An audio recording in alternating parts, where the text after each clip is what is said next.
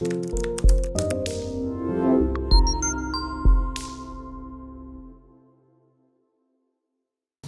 إلى شأن تعليمي في هذه النشرة حيث أنه بالرغم من أن المعلم يعد الجسر الذي تعبر منه الأجيال والمغذي الروحي الأول لها فإنه ما زال يصارع الزمن وهو يقف أمام تحديات كبيرة تشكل حجر عثرة في في طرق تحسين وضعه ومكانته في المنظومة المجتمعية.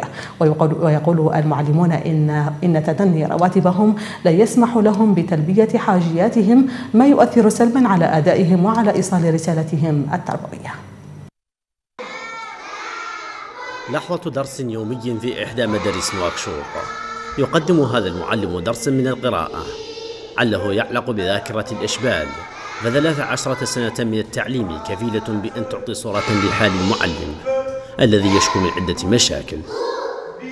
المشكلة الأولى مشكلة الرواتب الزهيدة المشكلة الثانية مشكلة مبدأ غياب مبدأ العقوبة والمكافأة.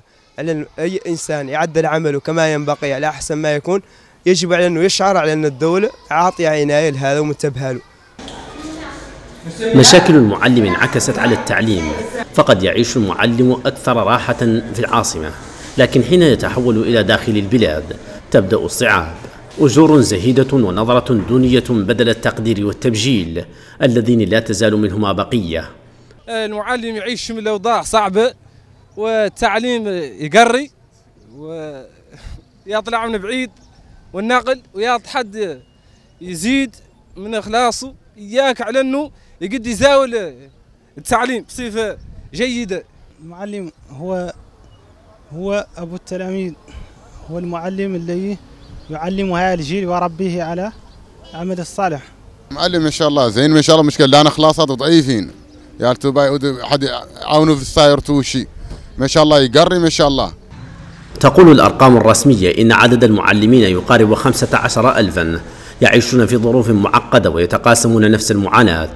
في فصول يتجاوز عدد الواحد منها مئة تلميذ أو يزيدون.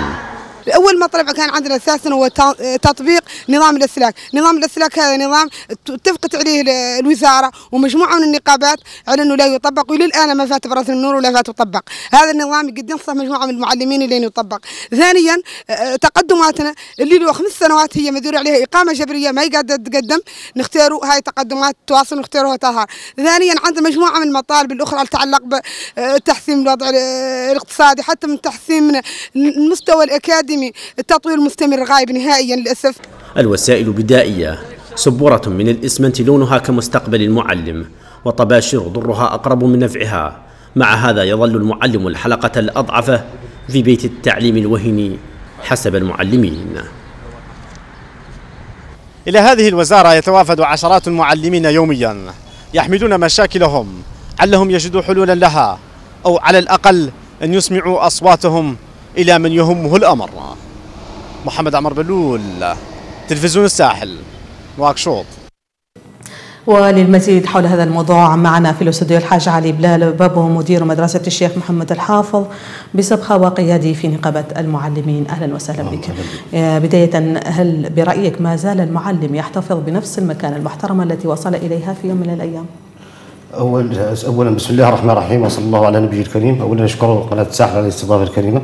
والجواب على السؤال مباشرة لا لماذا؟ لأن المجتمع أصبح ماديا وينظر إلى الشخص نظرة مادية والمعلم متدني الراتب ولهذا الأساس أصبح المجتمع ينظر إليه نظرة ازدراء طيب لماذا يركز المعلمون برأيك على الحقوق أكثر من تركيزهم على الواجبات أو على أداء الرسالة المنوطة بهم يعني في مسار التعليم؟ لأن لأن هذه الواجبات منوطة بتحقيق هذه الحقوق بتوفير هذه الحقوق، إذا لم تتوفر هذه الحقوق فكيف باستطاعتنا أن نوفرها؟ فالمعلم يحاول يحاول أن يعيش عيشة كريمة بالبحث عن المهن الموازية. الموازية كي يستطيع أن يعيش عيشة كريمة.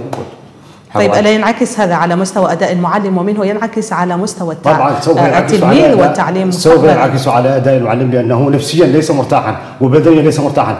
عندما ينزل الساعة الثانية يذهب يبحث عن عمل آخر إما في سيارة أو في البيوت تعليم الأطفال البيوت وهذا حقيقة متعب وطبعا ينعكس على نقص الأداء طيب رحلة البحث عن العيش الكريم هذه ألا يمكن أن تكون مشحفة ربما آه، آه، بالأطفال أو بالتلاميذ في داخل الفصول طبعا طبعا هذه الرحلة مشحفة لكن لماذا؟ السبب لا يعود للمعلم، السبب يعود للمسؤولين الكبار عن التعليم.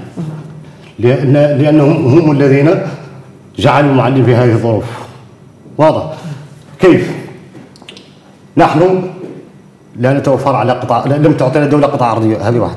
الراتب متدني لا يستطيع أن يعيش به المعلم أس- أسبوعان فقط من الشهر.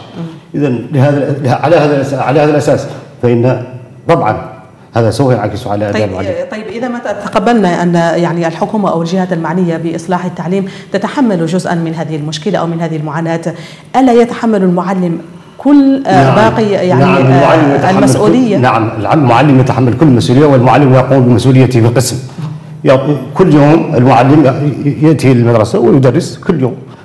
واضح هذا كل يوم وهذا بعد. ولكن الم- والمناهج جيده والمدارس لكن الراتب متدني وعلى الاساس المعلم لا يستطيع أن- أشكر جزيل الشكر الحاج علي بلال بابو مد- مدير مدرسة الشيخ محمد الحافظ بالسبخه وقيادي في نقابة المعلمين. شكرا.